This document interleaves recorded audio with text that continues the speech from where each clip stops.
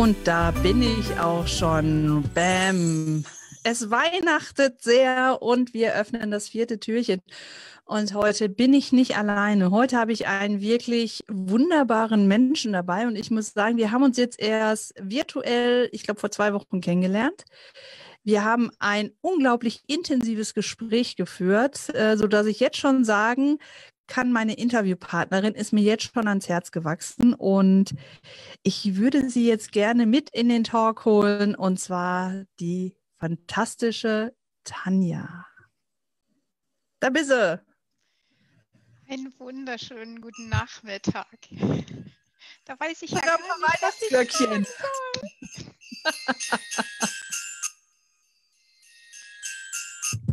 So, Ach, schön. schön, dass du da bist.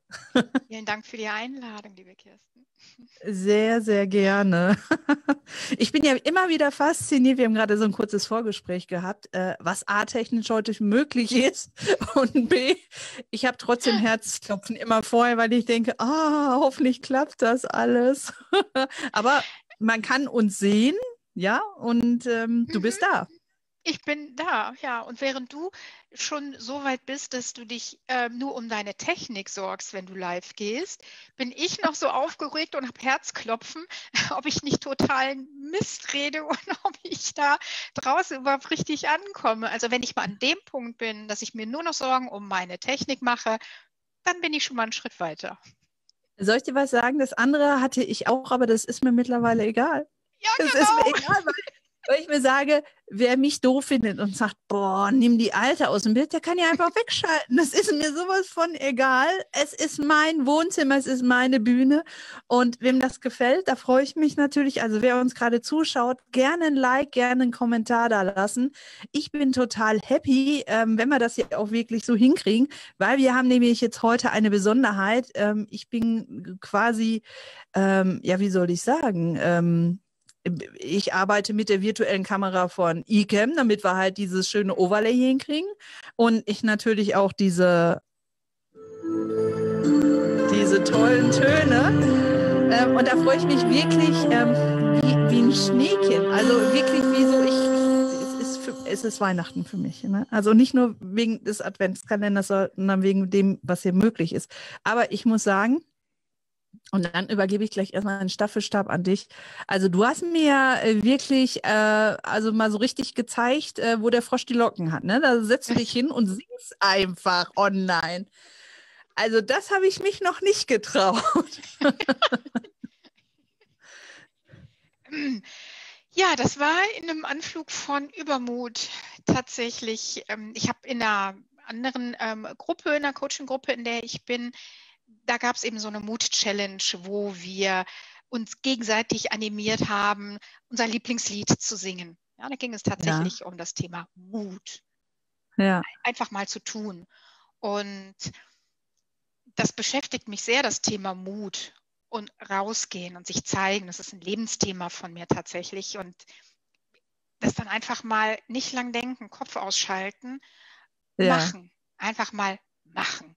Und ja das Interessante ist, ich habe ja am nächsten Tag überlegt, das sofort abzuschalten, also wieder zu löschen. Nein. Nee, ich habe mich ja dagegen entschieden. Ähm, aber dieses Video, was ich eigentlich ziemlich peinlich finde, oder wo ich sage, boah, das war nicht durchdacht, das hatte keine Struktur, das hatte keine Botschaft, das hatte keinen Mehrwert für die Menschen, die ich erreichen möchte. Und ich habe heute eben fast 90 Leute haben sich das angeguckt. Gut, nur wenige haben geliked, aber es hat auch keiner was Böses drunter geschrieben. Finde ich auch schon ein Erfolg. ähm, also bevor ich gleich was dazu sage, vielleicht ein kleiner Hinweis, nimm mal das Mikro ein bisschen runter, du poppst die ganze Zeit da rein, nur ein bisschen unters Kinn. Okay, ja so.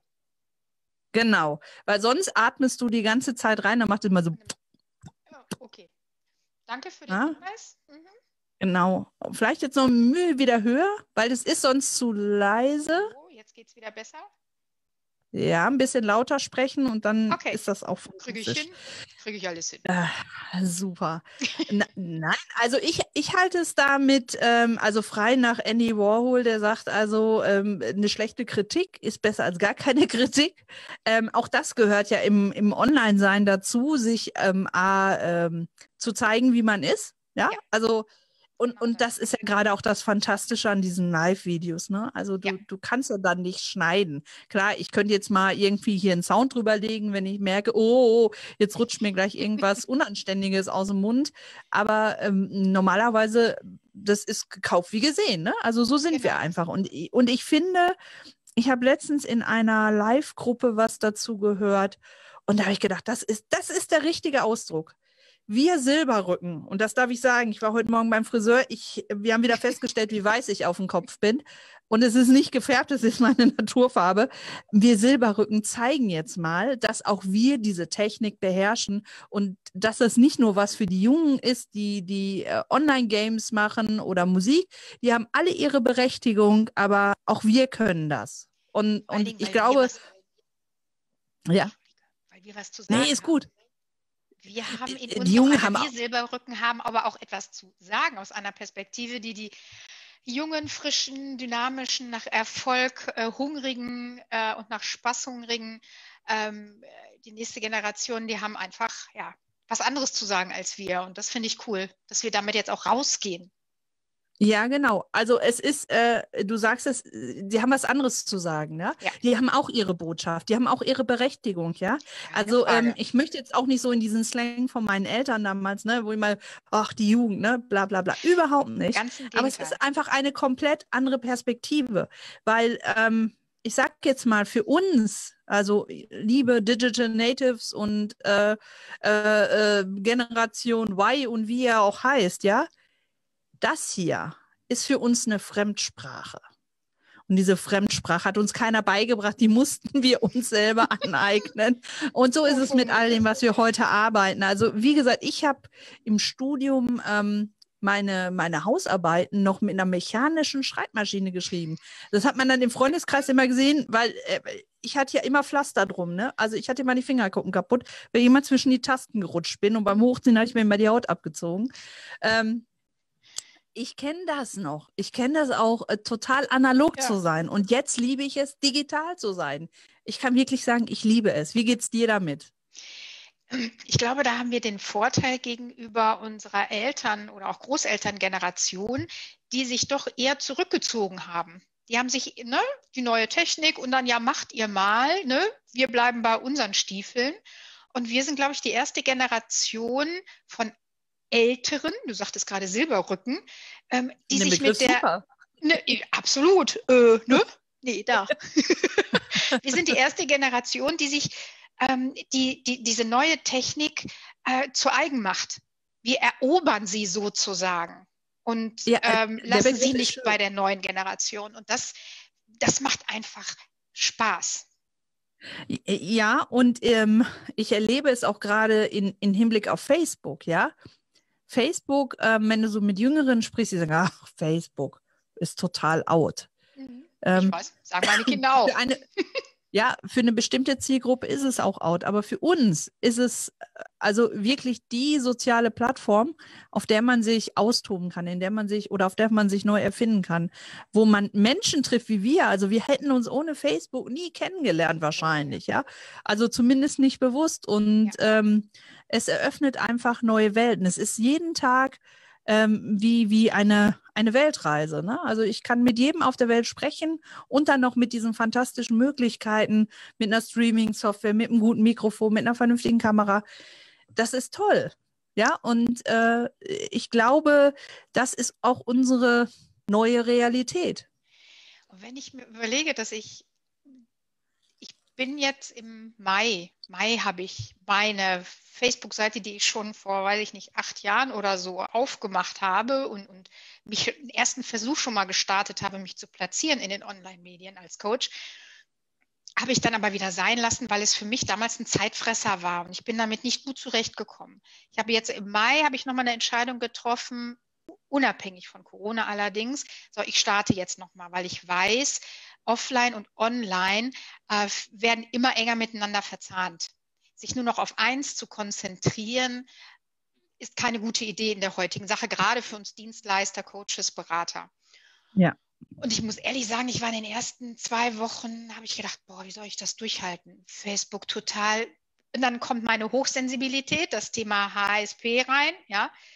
Äh, völlig wuselig, zu laut, überall bewegt es sich auf dem Bildschirm, überall zappeln neue Bilder rein, also völlige Reiz- und Informationsüberflutung in viel zu kurzer Zeit. Und sich da erst einmal zurechtzufinden, das hat schon ein bisschen Zeit gekostet und du kriegst ja ganz viel, Entschuldigung, Bullshit geliefert. Ja. Bis der Algorithmus erstmal weiß, wer bist du, welche Interessen hast du, für welche Leute und Themen interessierst du dich. Und ich habe es, das fand ich eine sehr interessante Beobachtung. Innerhalb dieser vier, fünf Monate habe ich mir sozusagen schon meine eigene Facebook-Blase kreiert. Also so mit meinen Themen, mit meinen Inhalten. Und viele schimpfen ja über diese Medien, dass, dass sie so ähm, reizüberflutend sind, wie ich ja gerade schon sagte, und du kriegst nur Bullshit und so weiter. Aber wenn, solange, sobald ich anfange zu gestalten, ich suche sehr bewusst aus, mit wem befreunde ich mich, welche Themen ähm, hole ich rein, welche schmeiße ich bewusst raus. Also ich kann das gestalten und dann kann das so nützlich sein und es kann so gehaltvoll sein. Und ich muss echt sagen, die Menschen, Gespräche, die Dinge, die ich gelernt habe in den letzten fünf Monaten, so, das hätte ich, das habe ich in den letzten fünf Jahren nicht gehabt. Und ich bin nie ohne Fortbildung, Weiterbildung. Ich bin ja immer ein sehr kommunikativer Mensch gewesen. Mhm. Aber die Möglichkeiten, die sich hier auftun, das hätte ich noch vor fünf Monaten schlichtweg geleugnet. Muss ich echt zugeben. Ich, ich, ich, weiß, ich weiß genau, was du meinst. Also wir haben ja das große Glück, Conny und ich, wir sind ja vor fünf Jahren, haben wir diese Challenge angetreten. Wobei ich aber sagen muss, ähm, immer noch so mit einem ganz großen Schritt in der Offline-Welt, in der analogen Welt, ähm, weil da einfach unser Kerngeschäft war. Und auch gerade in dem Bereich, in dem ich bislang unterwegs war, da war dieses digitale Denken oder auch dieses digitale Arbeiten nicht so wirklich vertreten. Ich war in Firmen unterwegs, und jetzt war, wie ich gesagt habe, lass uns doch mal die Arbeitsprozesse anschauen, lass uns doch mal überlegen, wie man es heute anders gestalten kann. Viele Firmen haben das gescheut wie Teufel, das Weihwasser. Und jetzt durch Corona wurden sie gezwungen. Und ähm, in dem Moment habe ich gesagt, nee, ich muss keinen mehr überzeugen davon. Ich mache jetzt das oder wir machen jetzt das, wofür ich wirklich brenne und genau. was wirklich, deswegen, ich sage ja, für mich ist diese Online-Welt wie jeden Tag Weihnachten. Ähm, aber auch, Entschuldigung, wenn ich das sage, ich bin ja auch HSP. Also ich bin ja auch ein sehr hochsensibler Mensch und das ist zum Beispiel für mich auch etwas Tolles. Ähm, ich habe ja vor der digitalen Welt gedacht, ich bin damit total alleine. Ganz früh habe ich gedacht, das ist eine Krankheit. Ähm, habe mich falsch gefühlt. Ich habe gedacht, oh, ich muss jetzt zum Therapeuten und was weiß ich nicht. Also ich habe immer gemerkt, so ich bin irgendwie entrückt und verrückt. Also nicht verrückt genau. im Kopf, aber ich bin etwas so immer neben mir. Und ähm, durch die Online-Welt habe ich dann festgestellt, dass es da ganz viele von gibt. Und das, was du sagst, das war eine wichtige Erkenntnis. Ich kann in der Online-Welt komplett gestalten. Ich kann nicht nur gestalten, wer ich sein will, sondern ich kann auch gestalten, mit wem ich sein will, wie ich sein will, wo ich sein will welches Wissen ich mitnehmen will. Und das äh, sehen, glaube ich, viele noch gar nicht. Ja, die glauben nur, sie werden beschallert, wie beim Fernsehen. Ach, da schalte ich mal auf einen anderen Sender und, und, und. Da bin ich aber in einer passiven Gestaltung. In der Online-Welt kreiere ich meine eigene Echokammer. Genau. Und, und das, womit ich interagiere, das, womit ich ähm, in den Austausch gehe, das, worauf ich reagiere, das wird mir ähm, immer wieder zugespielt. Das ist ja nicht nur bei Facebook so, das ist auch bei YouTube so ja, da bin ich noch nicht so ganz. Das mache ich mir dann so nächstes Jahr zu eigen, ist so mein, mein, mein nächster Schritt. Ähm, weil, wenn ich mal ganz ehrlich bin, also so, so Video und ähm, online zu sein, sich zu zeigen, das fängt an, richtig Spaß zu machen. Ja, es ist eine Sucht. ja, so weit würde ich jetzt noch nicht gehen, aber es ist eine Plattform tatsächlich, zu sagen, was man zu sagen hat und dann kann man schauen, wollen die Leute das hören oder nicht. Und wenn es nur zwei Leute hören wollen, aber die zwei sind dann richtig. Ja, also es ist auch, äh, ich meine, ich komme ja auch aus dem, aus dem Coaching-Bereich und Trainingsbereich. Und ich hatte damals schon in der analogen Welt immer den Satz bei jedem Training, den einzigen Anspruch, den ich selber habe, also ich hatte mehrere Ansprüche, aber das, was ich immer den, den Teilnehmern mit auf den Weg gegeben habe am Anfang, ich freue mich, wenn sie nur einen Impuls aus dem heutigen Training oder Coaching mit nach Hause nehmen. Genau. Ja. Und ähnlich ist das jetzt in der digitalen Welt. Wenn ich nur einen Menschen damit erreiche und diesem einen Menschen damit helfen kann, dann ist das schon gut, dann ist das schon wertvoll. Ja. Weil ich muss nicht, und das ist, glaube ich, äh, woran viele gerade am Anfang verzweifeln, sie glauben, äh, durch diese Sichtbarkeit müssen sie everybody's darling sein. Und das wird nicht funktionieren. Ich habe ja auch offline ich, nicht. Äh, das geht offline auch nicht, nur da kann ich, kann ich das ausblenden. Auf der Online-Plattform wie YouTube, ähm, ich habe da einige Videos, da wird sehr kontrovers diskutiert, was ich alte Frau äh, denn dazu zu sagen habe. Ja, also das sind doch Themen für junge Menschen, wo ich immer denke, nee, jetzt sind nicht nur Themen für junge Menschen, es ist für jeden was dabei. Und ich sehe mich auch nicht als alte Frau. Also das kommt noch dazu. Nicht. also,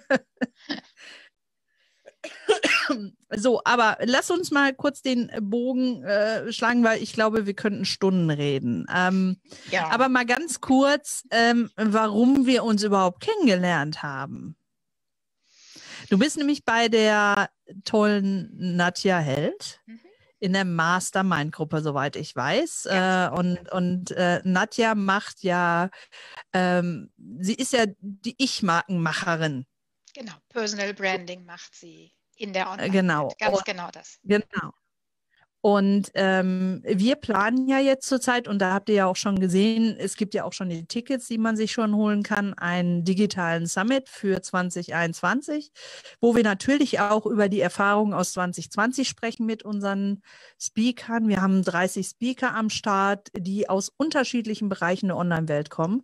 Also wirklich Speaker, die entweder so 100 Prozent online sind oder Speaker, die einen Offline- und Online-Bereich haben oder auch Speaker, die erst durch 20 2020, also durch Covid-19, in die Situation gekommen sind, jetzt zu sagen, okay, jetzt muss ich oder jetzt mache ich den Schritt. Und ähm, ich hatte mit Nadja, Nadja ist eine unserer Speakerin, da hatte ich gesagt, Mensch, Nadja, wir überlegen, ob wir auch so einen Newcomer-Blog mit reinnehmen. Ja, also Newcomer im Sinne von, die starten jetzt gerade erst.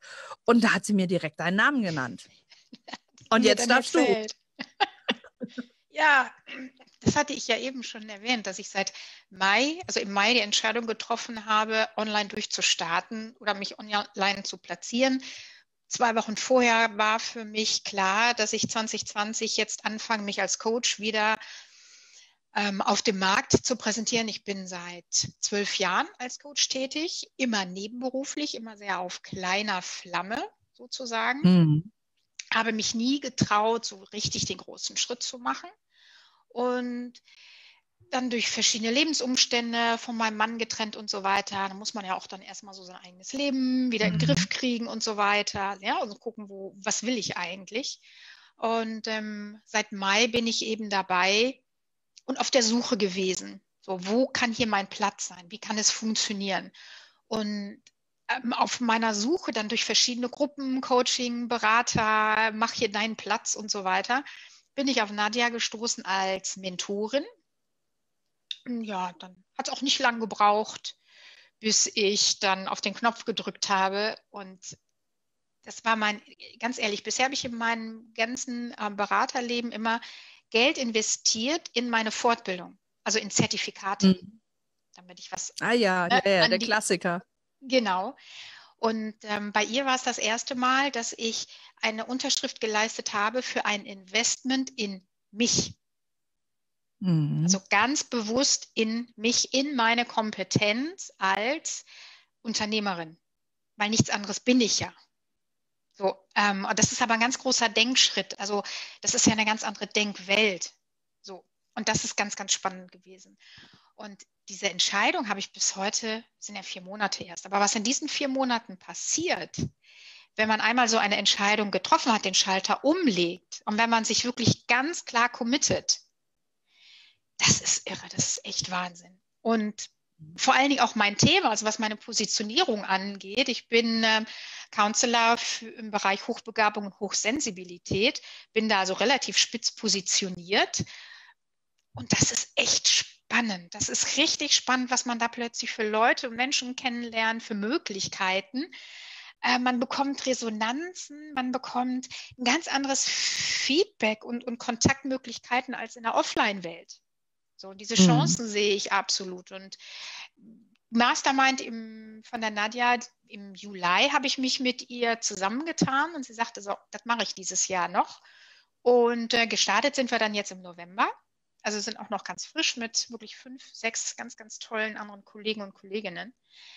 Und das macht echt Freude, mal nicht für sich und irgendeine Methode zu lernen oder was kann ich denn noch, sondern so sein eigenes, seine eigene Haltung. Es geht ja ganz viel um die eigene Haltung zu seinem Tun und auch zu verstehen, wie funktioniert Markt, wie funktioniert Kundenakquise, ja, diese ganzen Dinge, wie funktioniert Marketing. Und dafür ist Facebook ja zum Beispiel auch eine unglaublich tolle Lernplattform. Was funktioniert und was funktioniert nicht, das kriegst du sofort mit. Oh ja, unmittelbar ne, unmittelbar und nicht eben erst, wenn eine Werbekampagne mit Flyern schon ein halbes Jahr vorbei ist. Was kommt als Rücklauf oder nicht? Ja. Das ist wirklich äh, ein großartiges, großartiges Geschenk. Hm. Hm. Und deshalb bin ich hier, nachdem sie mir dann gesagt hat, Tanja, darf ich dich mal connecten? ja, darfst du. und das freut mich riesig, gerade auch diese Querverbindungen ja, im Online-Business. Das ist einfach hoch, spannend und ähm, gerade für uns HSP auch dieses, ja. wir lernen ja am besten durch das Vernetzen und Verbinden von verschiedenen Lerninseln ähm, auf verschiedenen Ebenen. Ja, absolut, absolut. Äh, es ja. ist aber auch, äh, also ähm, vielleicht, vielleicht sollten wir das mal noch mal ganz kurz erklären, was HSP ist, ähm, weil ich habe in den letzten Jahren, nachdem mir das bewusst wurde, was bei mir nicht in Ordnung war, heute sehe ich es als Begabung, ähm, es ist genau. eine Begabung, ähm, äh, wurde ich quasi erschlagen, also mit dieser ganzen Literatur, die so aus dem medizinischen Bereich kam, da wurde ja dann nochmal wieder verstärkt, du bist nicht in Ordnung. Ähm, und dann war das ja irgendwann so ein Modebegriff, ne? Also da habe ich so gedacht, so egal wo ich hingucke, jeder sagt jetzt, ich bin hochsensibel. Mhm. Also HSP ist eine Hochsensibilität. Und wenn ich da noch so richtig, aber du kannst mich korrigieren, da bist du mir die Expertin aus der anderen. Ich bin ja nur ähm, eine, eine der Begabten, die das halt hat. Eine ja. Beschenkte. Eine Beschenkte, genau. Ähm, dass, äh, äh, dass es ja so in den Ende des letzten Jahrtausends gab, so glaube ich, die ersten Untersuchungen, da hat man so gesagt, dass so schätzungsweise zwischen 5 und 8 Prozent der Menschheit äh, damit beschenkt ist, mit dieser, mit dieser Fähigkeit, dass man aber davon ausgeht, ähm, und jetzt wird es ein bisschen spirituell, wobei das eigentlich mit Spiritualität gar nichts zu tun hat, sondern was mit, mit Naturwissenschaften. In dem Moment, wo sich die Resonanzfelder auf der Erde verändern, ähm, die Zahl nach oben geht. Also dass bei immer mehr Menschen weil ich glaube, grundsätzlich haben wir alle diese Fähigkeiten, nur bei ganz vielen ist es verschlossen. Das ist so hinter Konditionierung, hinter Panzern, hinter manchmal auch bei genetischen Sachen, also unterschiedliche Gründe. Es ist eine Kommunikationsform, die einfach da, also so habe ich mir das irgendwann erklärt. Ja, wobei ich glaube, wir sprechen jetzt von zwei verschiedenen mhm. ähm, Themenfeldern tatsächlich. Die mhm. Hochsensibilität die mittlerweile in der ähm, Wissenschaft auch intensiv untersucht wird, in der Psychologie, mhm. ist die eine Seite. Und das, was du beschreibst, ist eher der Part der Feinfühligkeit, wie mhm. der Bereich Hellsehen, wie der Bereich Hellhören zum Beispiel. Nee, nee, nee, nee. Habe ich mich falsch ausgedrückt. Aber ich weiß, was du meinst. Es gibt da nochmal diesen Unterschied. Genau, ja, ja, aber genau. die Hochsensibilität an und für sich ist mittlerweile auch biologisch relativ gut ähm, ja. in verschiedenen Studien angeforscht. Und es sind bis 30 Prozent ähm, mhm. eines Jahrgangs. Also 30 Prozent der Bevölkerung werden in die Hochsensibilität eingestuft. Es gibt dafür keine Tests, es gibt dafür keine äh, biologischen Marker, jedenfalls nicht, dass wir es bisher wissen, ja. sondern es ist immer eine Selbsteinschätzung. Und ähm, genau über Fragebögen. Also Test, ein Test wie bei dem Bereich Intelligenz, ähm, Hochbegabung, der IQ-Wert, das gibt es im Bereich Hochsensibilität nicht. Biologisch ist diese Hochsensibilität begründet in ähm, einer herabgesetzten Schwelle der ähm, Reizaufnahme beziehungsweise Reizweiterleitung. Ja. Hochsensible nehmen viel früher Reize wahr als weniger sensible. Ja. Und es gibt auch heute, sind die Wissenschaftler und die Forschenden sich einig, es gibt nicht mehr, du bist sensibel oder hochsensibel oder eben nicht, sondern es ist ein Kontinuum. Du bist mehr ja. oder weniger. Jeder Mensch, genau. wie du eben auch gesagt hast, ist sensibel. Ja. Und ja, um die 30 Prozent maximal ähm, gehören in die extrem sensible Ecke. Und dazu gehört zum Beispiel, dass man Etiketten auf der Haut nicht ertragen kann. Jeder hat auch ja. einen anderen Kanal. Ähm, dass man die Neonröhren unter der Decke, dass man die summen hört und das kaum ertragen kann, während andere das überhaupt nicht wahrnehmen. Was willst du? Oder auch ja, Flackern ja. von Lampen. Was die ja. einen überhaupt nicht wahrnehmen und Hochsensible, die werden da gaga, wenn die da zu lange in diesem ich, Raum sind. Also, also das ist etwas, was bei mir auch der Fall ist, ähm, bei bestimmten Sachen. Also dieses mit, mit bestimmten Stoffen auf dem Körper kann ich überhaupt nicht haben. Ich reagiere auch sehr stark auf, ähm, auf Texturen beim Essen.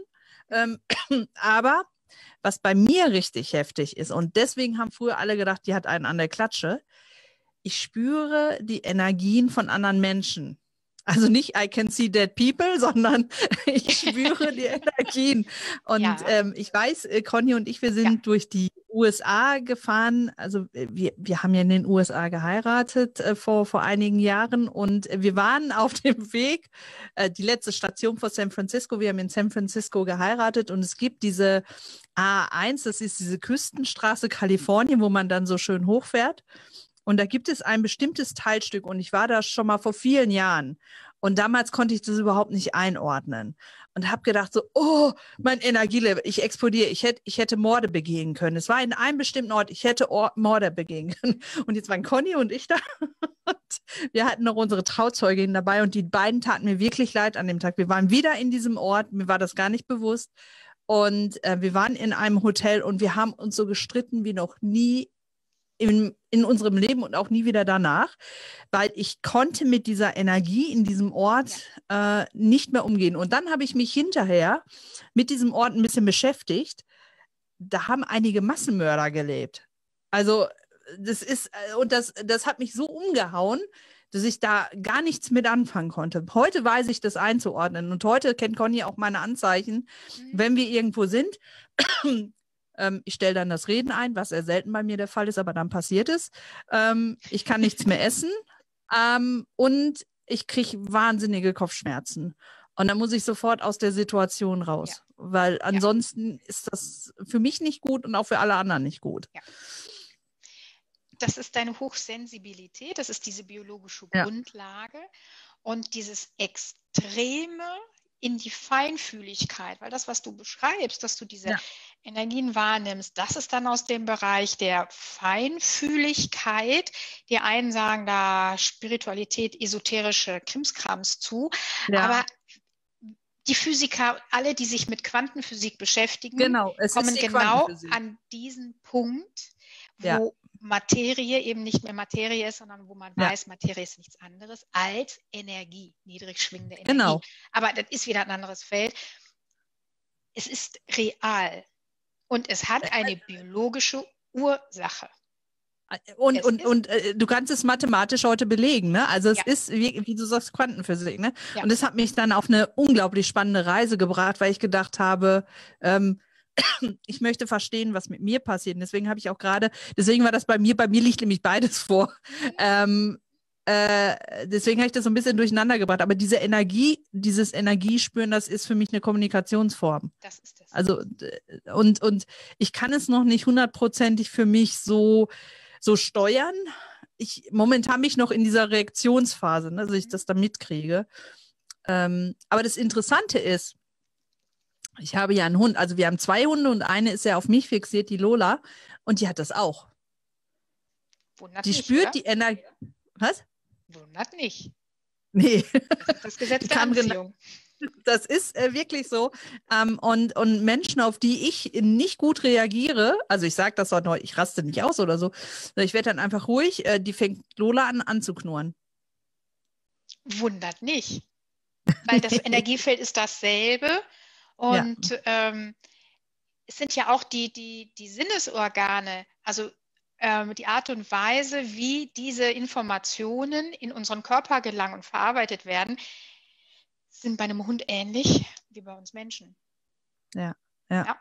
Und dass es tatsächlich ein Phänomen in der Natur ist, also es ist diese Hochsensibilität, ist ein Phänomen des Lebens. Wir wissen nämlich heute durch viele Studien, dass ähm, bei Säugetieren, bei Delfinen, bei, sogar bei Bienen und in Fischschwärmen wurden, werden Individuen wahrgenommen, die sensibler reagieren, die früher reagieren auf Reize wie die Artgenossen. Ja. Ähm, und hat biologisch ähm, ja auch einen Sinn. Die Wächter, die kriegen schneller äh, äh, Reize mit, die kriegen schneller Gefahrenquellen, Veränderungen mit. So. Ja. Stell dir mal vor, 90 Prozent ähm, einer Gruppe, einer Herde wäre so sensibel. Aber die würden ja alle gaga werden. Die hätten nicht du, überlebt. Du, du wirst auch gaga. Also deswegen, ich bin, bin froh, Conny ist auch ein sehr sensibler Mensch, aber sie ist dann so der ruhende Pol. Also die sagt dann, durchatmen. Durch ich, ich, bringe dich jetzt durch.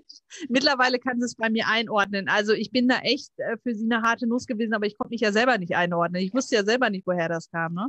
bis ich dann wirklich das für mich auch akzeptiert habe. Also wer jetzt gerade zuschaut, bitte nicht wundern, wir machen hier keine Therapiestunde, sondern weswegen wir das heute besprechen, ist einfach, damit ihr seht, welche unterschiedlichen Facetten es in der Online-Welt gibt, mit was man hier eigentlich online unterwegs sein kann. Und es ist ja auch kein Aber, Widerspruch.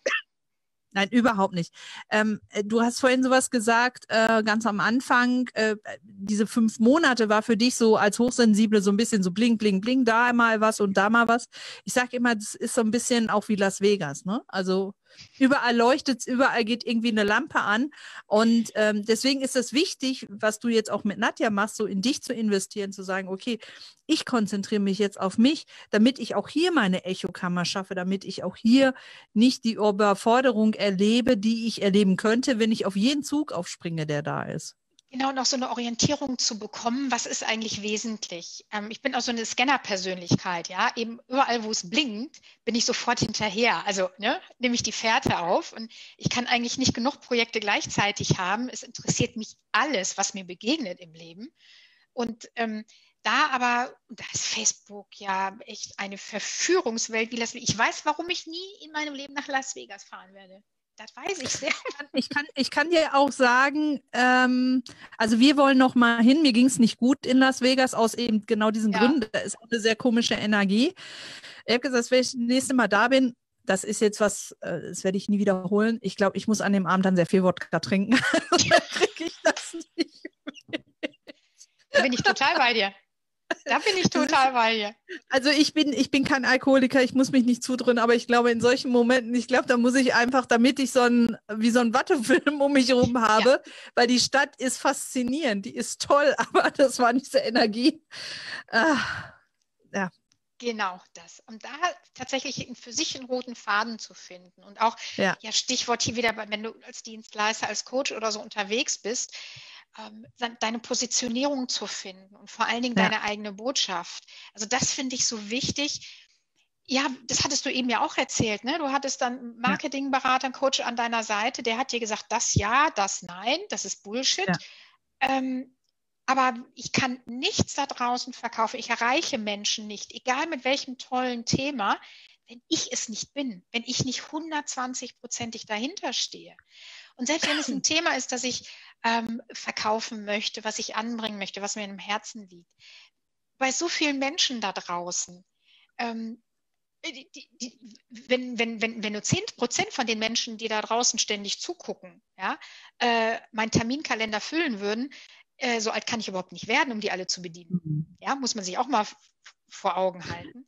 Genau gibt für jedes, also das Wichtige ist, die Energie rauszustrahlen mit 120 Prozent hinter deinem eigenen Thema. Nicht einem Marketing-Trick, nicht irgendeinem Thema, was gerade wichtig ist.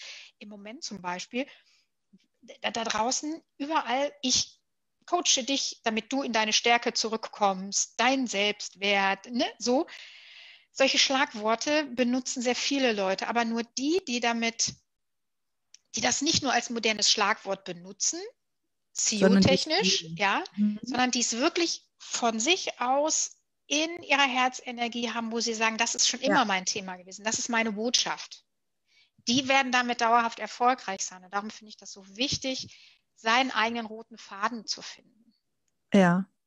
Also das ist jetzt, also heute ist wirklich mal geplaudert. Ich habe hier auch meinen Kaffee und ich hoffe, das sehen uns alle nach, dass wir jetzt hier auch so einen Live-Talk haben, der mal ein bisschen anders ist und vor allen Dingen auch ein Türchen, was ein bisschen länger als zehn Minuten auf ist. Also ähm, wen es interessiert, also gerne. Conny hat auch gerade schon den Namen des Ortes in Kalifornien genannt, Oxnard. Also könnt gerne mal gucken. Der Name ist schon unaussprechlich.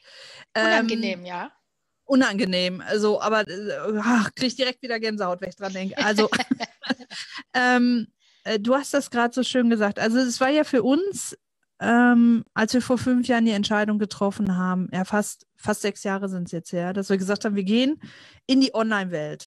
So, da war ganz klar, ich war bis zu dem Zeitpunkt sehr erfolgreich in den Themen, in denen ich unterwegs war. Also ich habe ähm, in Unternehmen Veränderungs-, also Transitions gebaut, äh, gemacht. Ich habe ähm, äh, äh, neue Unternehmen mit aufgebaut. Ich habe alte Unternehmen geschlossen. Ich habe die Mitarbeiter begleitet. Ich habe die Führung, also alles, was damit zu tun hatte. Habe aber gemerkt, dass ich im Laufe der Zeit immer leerer wurde. Also dass das so das hat mir meine Energie gesaugt und ich wurde krank und dann hat man sich wieder dahin gerafft und ne, so. Und, dann haben wir gesagt, okay, dann gehen wir jetzt in die Online-Welt. Und ich ich habe dann sehr schnell festgestellt, dass ich eine unglaubliche Affinität äh, zu allem habe, was mit Videotechnik zu tun hat. Dass ich, dass ich das äh, liebe, einfach mit der Kamera zu arbeiten. Und ich sitze hier teilweise stundenlang in meinem Studio, muss ich sagen. Das ist kein Büro mehr, es ist ein Studio. Und äh, frickel Overlays zusammen oder mach so ein Intro wie jetzt gerade hier davor, ja, oder irgendwelche Sachen, die geschnitten und, und ich, ich, ich gehe da innerlich drin auf. Und dann haben wir überlegt, okay, was machen wir? Weil Conny ist ja auch Fotografin und arbeitet auch als virtuelle Assistentin, ja. Also es ist ja, ist ja auch so ein, so ein ganz spezieller Bereich. Und dann haben wir uns Experten an, an, auch an Bord geholt, ne? weil weiß ja, der Schuster trägt die schlechtesten Schuhe. Sich selber zu beraten ist immer schwierig. Und was da rauskam, ja, nee, du musst in die Richtung gehen und in die Richtung. Und dann habe ich immer gesagt, ja, aber ich, ich, ich, ich mache das doch gerne. Ich, ich, ich glaube auch, dass ich da vielen was mitgeben kann, wenn ich, wenn ich halt diese Videotechnik einfacher mache, wenn ich die Livestreaming-Technik einfacher mache oder erkläre, wie ein Podcast geht oder sowas, ja. Und dann waren unglaubliche viele Stimmen und du kannst es nachvollziehen. Für jemanden, der mit HSP unterwegs ist, ist das eine Folter, wenn dir ständig von überall gesagt wird, das ist nicht richtig so und und und mein Selbstbewusstsein wurde immer kleiner. Und ähm, da muss ich halt auch nochmal einen lieben Gruß an Nadja sagen. Unser Gespräch hat mich so nach vorne gebracht, dass wir jetzt gesagt haben, wir helfen euch, in eurem Online-Business erfolgreich zu sein, indem wir euch zeigen, wie ihr die Videotechnik für euch optimal nutzt, liebe Trainer, lieber Coaches, liebe Berater. Wir wissen nämlich um die Probleme, die ihr damit habt verdammt nochmal, welches Mikrofon soll ich nehmen? Worauf muss ich dabei achten? Was mache ich mit dem Licht? Was mache ich mit dem Schnitt? Das sind elementare Dinge. Dann machen wir uns nichts vor. Unsere neue Showbühne, unser neuer Coachingraum, unser neuer Trainingsraum ist die Kamera. Ja. ja, und wenn ich damit nicht vernünftig arbeiten kann, dann kann ich auch keine Menschen erreichen. Ja, also denkt doch mal dran, als ihr in der analogen Welt, ich, ich habe so viele Coaches und Trainer erlebt, dann sind die ins Hotel gefahren, haben sich aufgeregt, dass die Dicke vom Papier am Flipchart nicht richtig war oder dass die Stifte nicht richtig waren, dass das Wasser nicht das Richtige war. Und, und, und jetzt in der Online-Welt schmeißen die das alles so hinter sich und sagen, oh, ich nehme mal mein Handy und mache mal ein wackeliges Video und sage dann hinterher meinen Klienten, du kannst mich buchen, ich koste 500 Euro die Stunde. Mhm. Wo ich denke, what? Genau das. Also, das genau. ist einfach. Das wurde mir auch relativ schnell klar in der Zeit, wo ich jetzt hier ja. so unterwegs bin.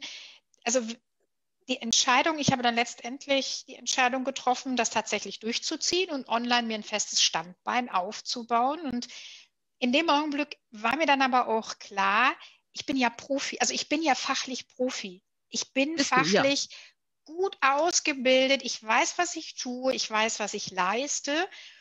Und meine Professionalität dann gleichzeitig in Frage zu stellen durch schlechte Technik, ähm, mhm. durch ähm,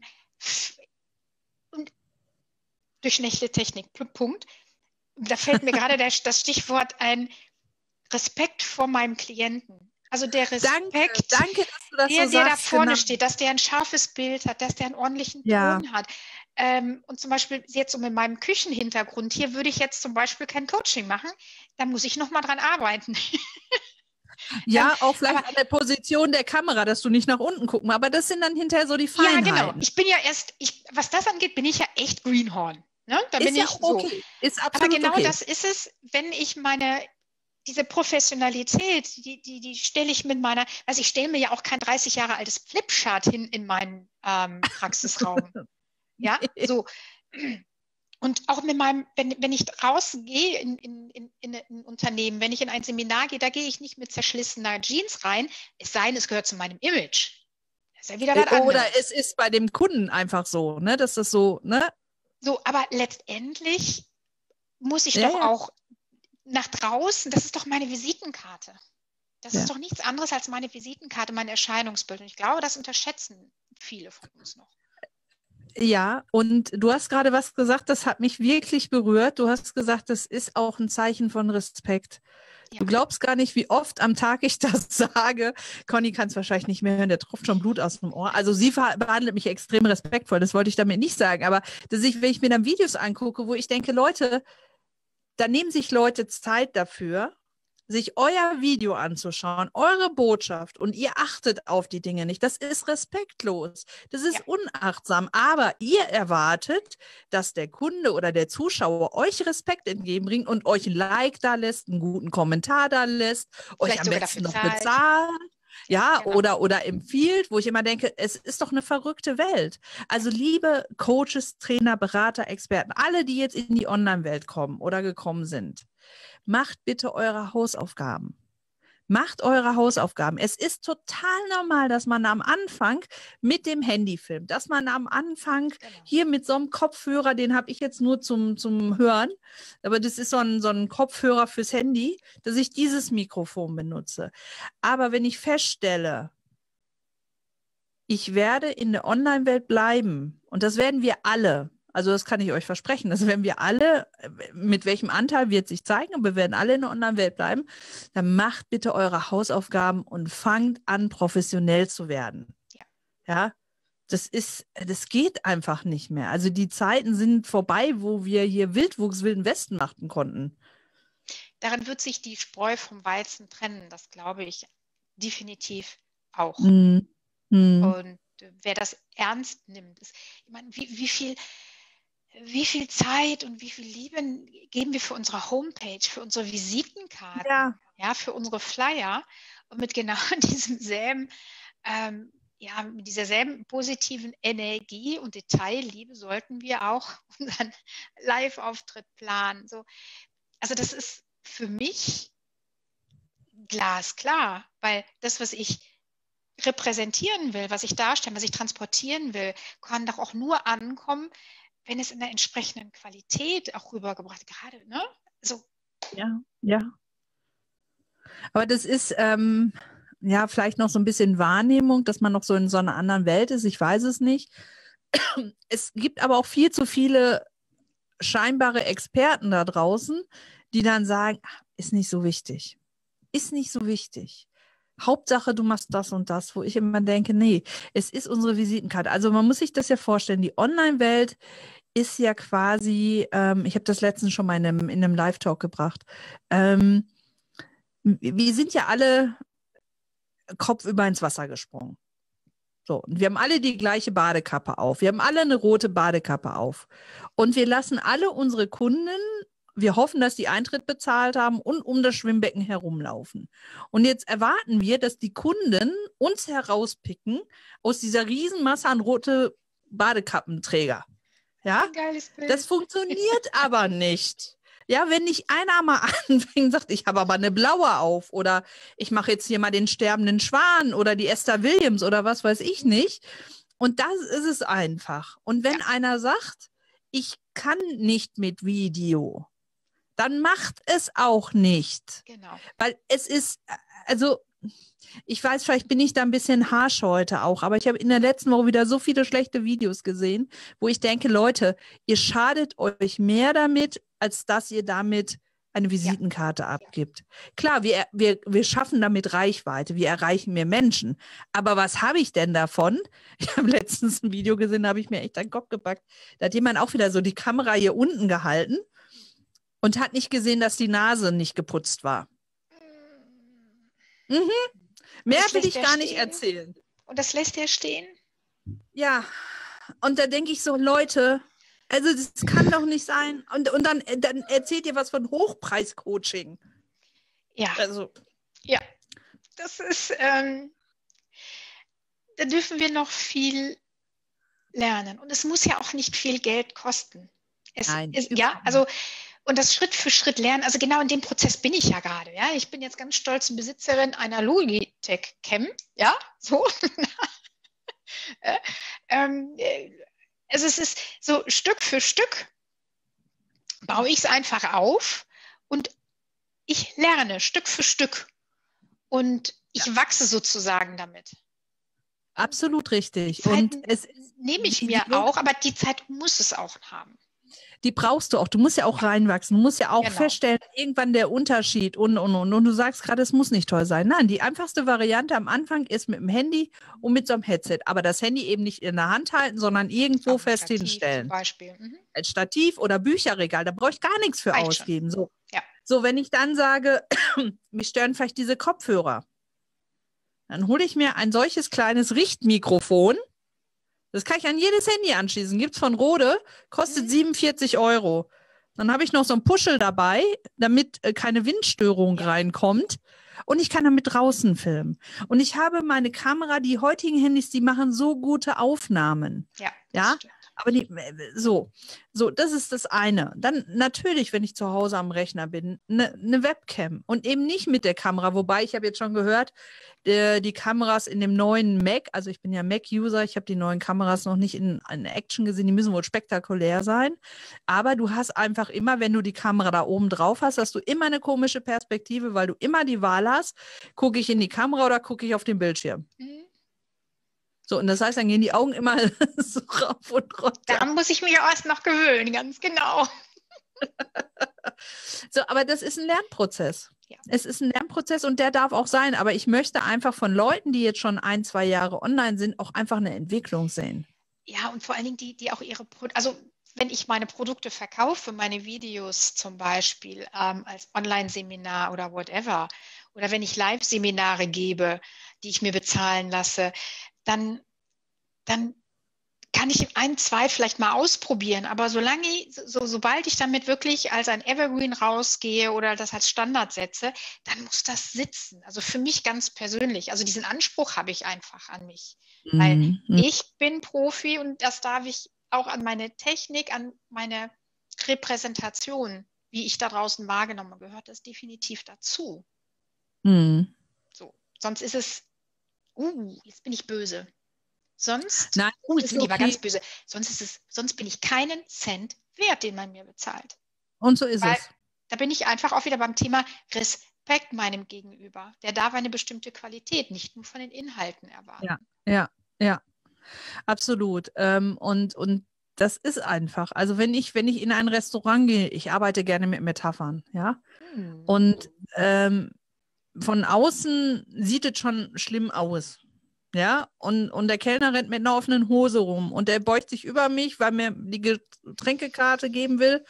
Also in Zeiten von Heute Corona. gleich noch was essen, muss nicht weinen. So, und ich rieche ähm, das Duschgel, was er vor drei Wochen verwendet hat. Also mehr brauche ich, glaube ich, hm. nicht ins Detail gehen. So. Warum sollte ich denn dann glauben, dass der Koch, der in dieser Küche steht, ein Sternekoch ist? Und warum sollte ich dann so viel Geld dafür bezahlen? Das ist es einfach. Es ist, ja. neben, der, neben der Homepage ist das einfach die Visitenkarte. Und wenn du wirklich Reichweite erreichen willst, also da kommen wir wieder zu der Echokammer, jetzt schließen wir mal eben den Kreis nach vorne wieder. Ich erhöhe natürlich meine Reichweite durch Videos, durch die Reichweite kriege ich mehr Aufmerksamkeit. Die Menschen fangen an, mit mir zu interagieren. Ich kriege mehr Relevanz und schwupp bin ich in der Echokammer. Und Facebook merkt sich das oder auch YouTube merkt sich das. Und ich werde Leuten oder Menschen mit einem ähnlichen Profil ausgespielt. Und dann finden mich Menschen. Dann habe ich plötzlich nicht mehr die rote Badekappe auf, dann habe ich eine blaue Badekappe auf. Oder ich darf den Pool wechseln. Ich bin dann plötzlich in dem Taucherbecken, ja, und muss nicht mehr im Nichtschwimmerbecken sein. So, und, ähm, und ich glaube, wenn wir alle da so ein Stück weit auch an uns arbeiten und das auch durch unsere Arbeit auch so ein bisschen äh, Vorbildfunktion einnehmen, also Role Models äh, sind, ja. wie das Neudeutsch heißt, dann können wir wirklich was verändern. Dann sind wir Silberrücken, nämlich die, die hier äh, in der Facebook-Welt ähm, ja, bestimmen, wo es lang geht. Genau das. Wir setzen Qualitätsstandards. Oh, ja. sowieso eins meiner Lieblingsthemen.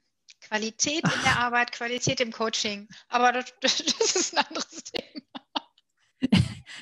Ich glaube, jetzt würden wir ausufern, wenn wir auch noch das, aber da bin ich auch bei dir. Da sollten wir vielleicht nochmal einen extra Talk machen.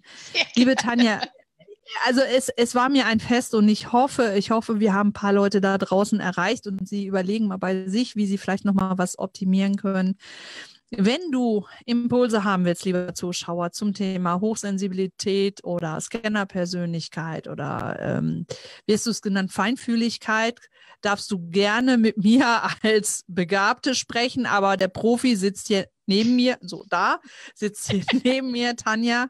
Ähm, wir verlinken dein Profil hier nachher auch nochmal. Also kann ich nur sagen, ähm, fangt, wenn ihr etwas bei euch spürt, ähm, setzt euch da mit den Profis auseinander, weil das ist wirklich eine Erleichterung, wenn man weiß, was bei einem anders ist als bei jemand anders so ein Geschenk, das ist so eine Ressource, das ist so eine Bereicherung im Leben und ich weiß, wovon ich rede. Ich kenne beide Seiten.